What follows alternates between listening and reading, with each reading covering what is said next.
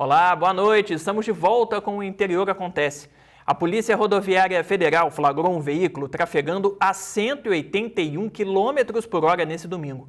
O motorista foi parado na Via Dutra, na altura de Barra Mansa, após uma fiscalização eletrônica por radar. O condutor foi autuado, já que o limite de velocidade no trecho é de 110 km por hora. A infração é gravíssima e a multa é de R$ 2.640, além da suspensão do direito de dirigir. E os usuários do transporte coletivo de Volta Redonda já podem pagar as recargas dos cartões de passagem com Pix.